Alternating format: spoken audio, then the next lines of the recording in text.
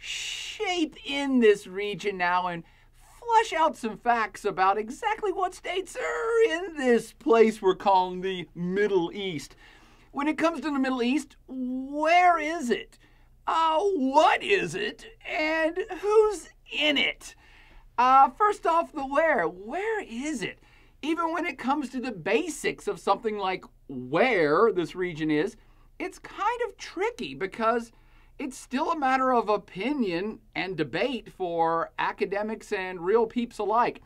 It is certainly, certainly, the Middle East is parts of this big projecting peninsula called the Arabian Peninsula.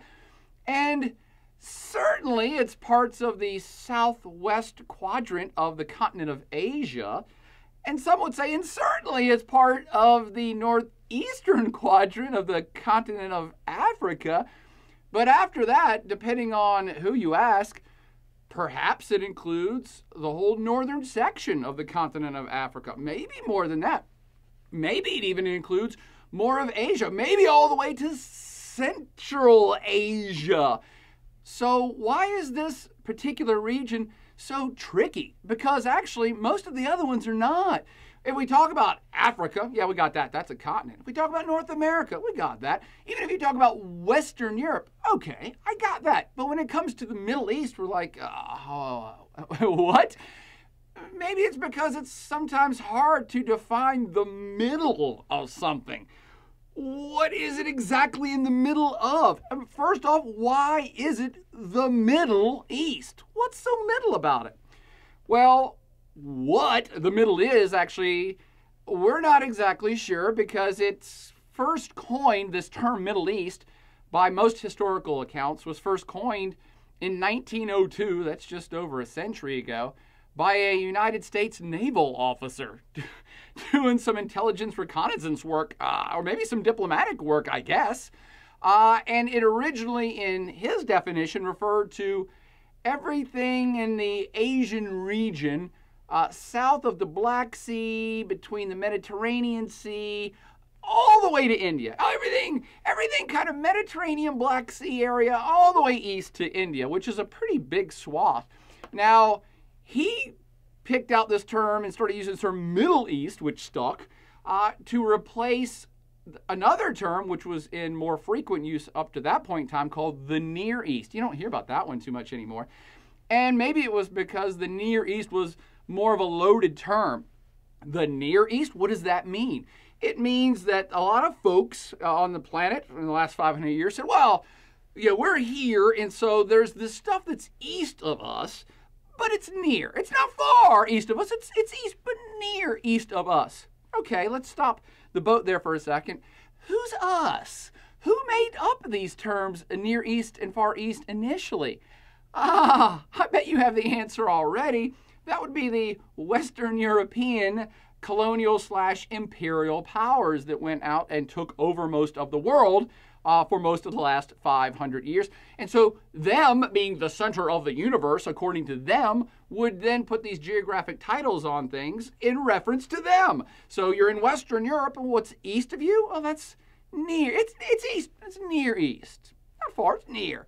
So, at different times in history, the Near East is actually referred to even parts of what we call Eastern Europe now. But certainly back in the day, that whole Ottoman Empire, that whole area, it's near Europe, it's east of Europe, and it's near Europe. It ain't us, it's the Near East. Got it?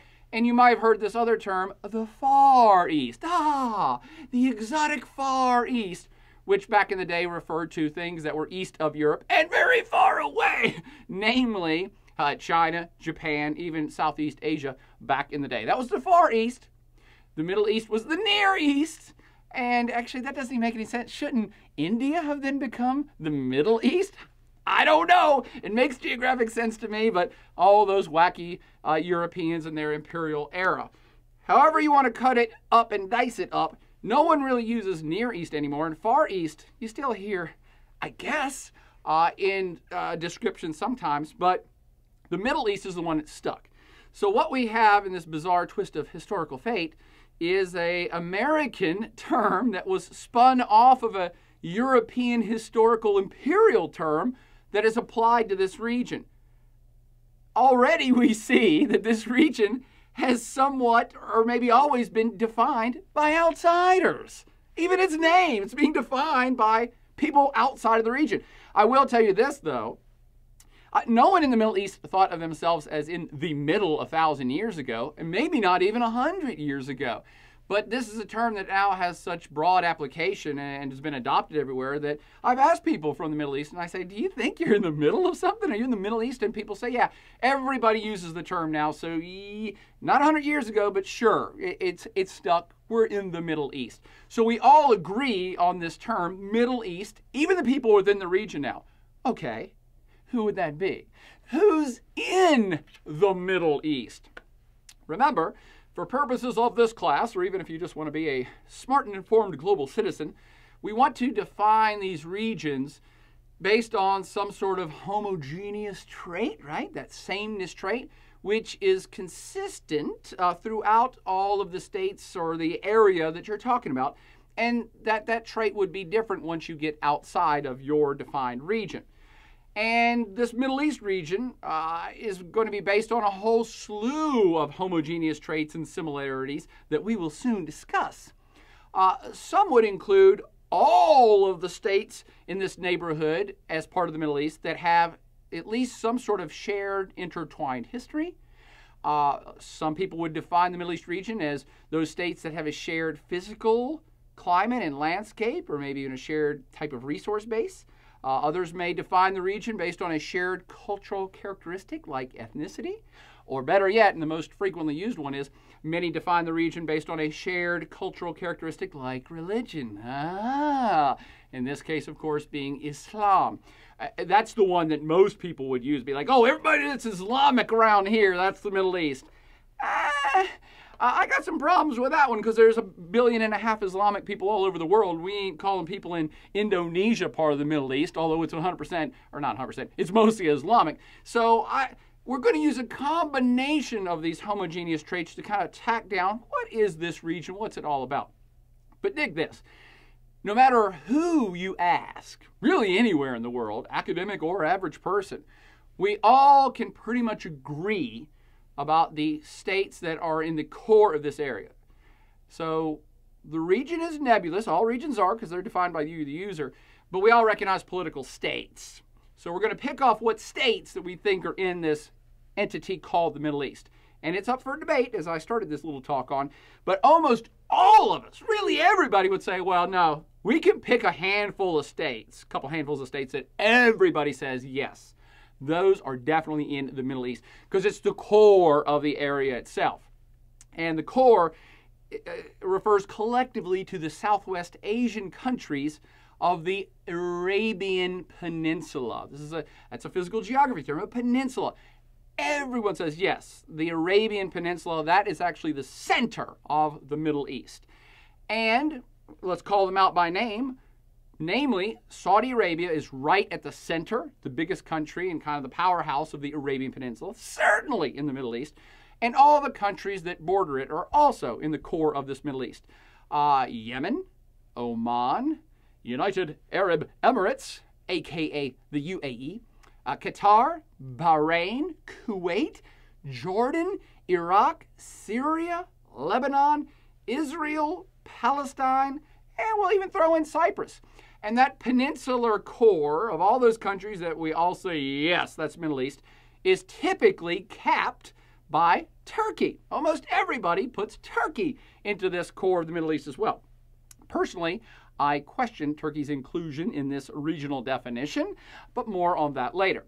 This peninsular core, topped by Turkey, is almost always inclusive of the book-ended states on either side as well, namely Iran, always included in the Middle East, and Egypt, always included in the Middle East.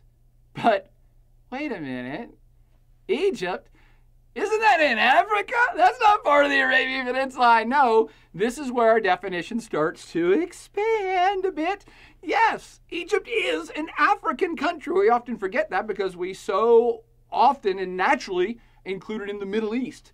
Uh, we also, because of that, probably need to include some other African countries because they're so near to this core. If you're definitely and always going to include Egypt in the Middle East, shouldn't you also include the very similar uh, culturally and ethnically and religiously and geographically close countries of Sudan, Eritrea, Djibouti, and Somalia? I mean, look at the map. They're just across the narrow little ribbon called the Red Sea uh, from the Arabian Peninsula. And they share all of the same similarities and homogeneous traits that the Arabian Peninsula countries do. So I include those in the Middle East as well.